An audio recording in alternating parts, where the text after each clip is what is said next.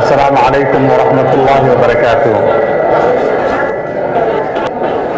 waxay la tahay saacaddu waxay tilmaamaysaa kow iyo tobankii iyo shan iyo toban daqiiqo ama ruux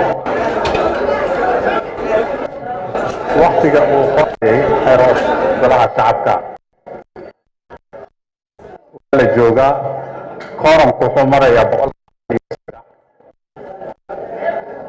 sidii hore aan ku ballannay xeer nidaamyaasha waa inay u gudbiyaan guddiga liisaska ay hayaan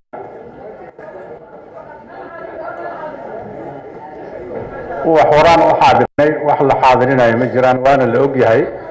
Markaan xaadirin uma baahnayn waxay u baahan tahay ficil amraynaa nidaamyaasha inay ku wareejiyaan liisaska ay hayaan. Guddiga maadaama kooramka uusan dhammayn fadhiga annaga sidaa daraaddeed waxaan rabaa inaan idiin sheego saakay ee, waxaanu nimid barlamaankii barlamaankii waxaa dhammaan waayey ee, nasaabkii ama een, intii uu ku furmi lahaa. Waana markii saddexaad baan u malaynayaa wiigga kan oo ay arrintaasi dhacday. Boqol labaatan iyo shan bay ahayd maanta boqol iyo labaatan iyo saddex weeye guddoomiyuhu wuxuu gaaray go'aan barlamaanka xeer hoosaadkiisa in lagu shaqeeyo. Sidaa darteed xildhibaanadii maqnayd waxaa loo gudbiyey anshax.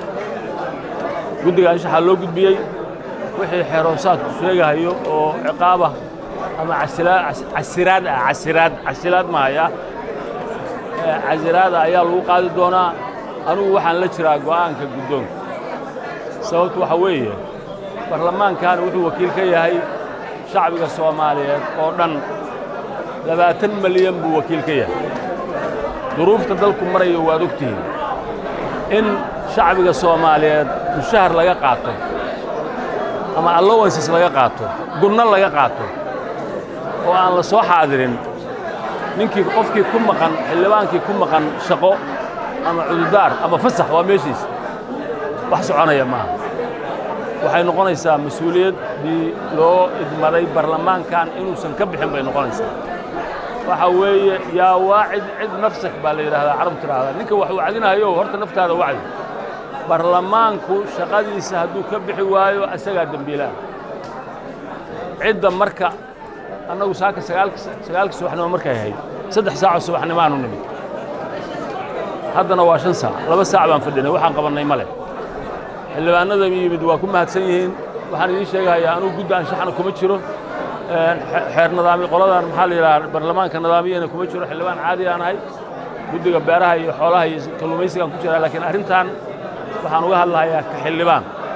Mas'uuliyaddayadu waxa weeye xaaladda tan dalku marayo inaannu nimaadno maalin kasta oo ku nimaadno tiro buuxda oo go'aammada iyo hawsha dalka ka qayb qaadanno oo haddii alla kuu ron yahay shuruucda ansixinno oo dawladda aan la xisaabtanno dabagallo iyo hay'adaha kale haddii intaa la samayn waayo waxaannu baaqsannay.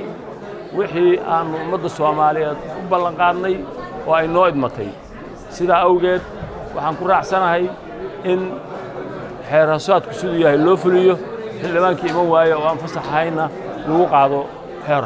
Xeerka annagaa saxiixnay aad iyo aad baa u mahadsantahay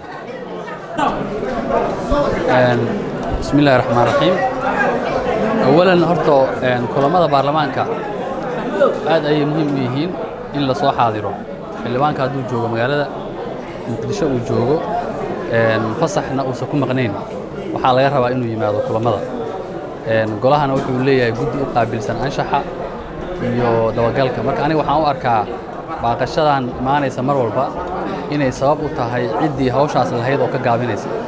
Marka taa waxaan ku baaqayaa in guddiga anshaxa ay shaqadooda qabsadaan iyo habdhoorayaasha intaasaan ku soo gaabsanayaa barnaamijka golaha waxaan rabaa inaan ka hadlo xaaladda ka taagan galmudug.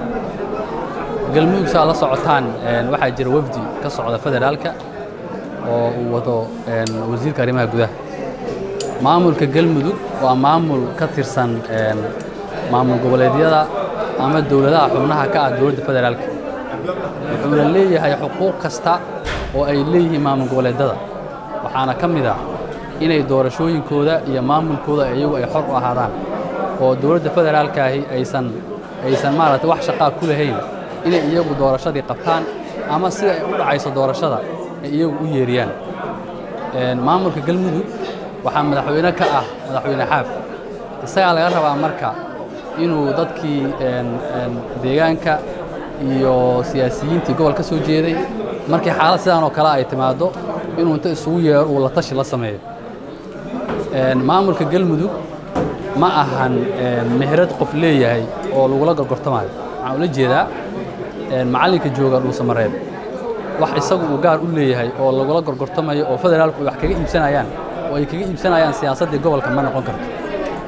Midda kale galmudug dhismaheeda waxaa lagu dhisay koob toban qabiil nidaam qabiil baa lagu dhisay laguma dhisin jabhado midoobey laguma dhisin ururo siyaasadeed lagumana dhisin xarakaad diiniya marka in maanta dib loo celiyo oo la yidhaahdo xarakad diiniyaha muxuu ahayto masiirka galmudug go-aan ka gaaraysa waxay dhibaato ku tahay gobolka waxay sii kala qaybinaysaa dadka deegaanka waxaan ku baaqayaa dowladda federaalka in aysan wax aan dastuurku xaq u siinaynin inaysan ku tallaabsanin madaxweyne xaafna waxaan ugu baaqayaa in uu isugu yeero dadka muxuu ahayto ka soo jeeda deegaankaas oo mas'uuliyiinta ah ama xildhibaan ha ahaadaan iyo odayaasha dhaqanka oo uu la tashi isugu yeero si ay go'aan uga gaaraan xaaladdan soo korortay waxa lagu fiirsan karana ma aha.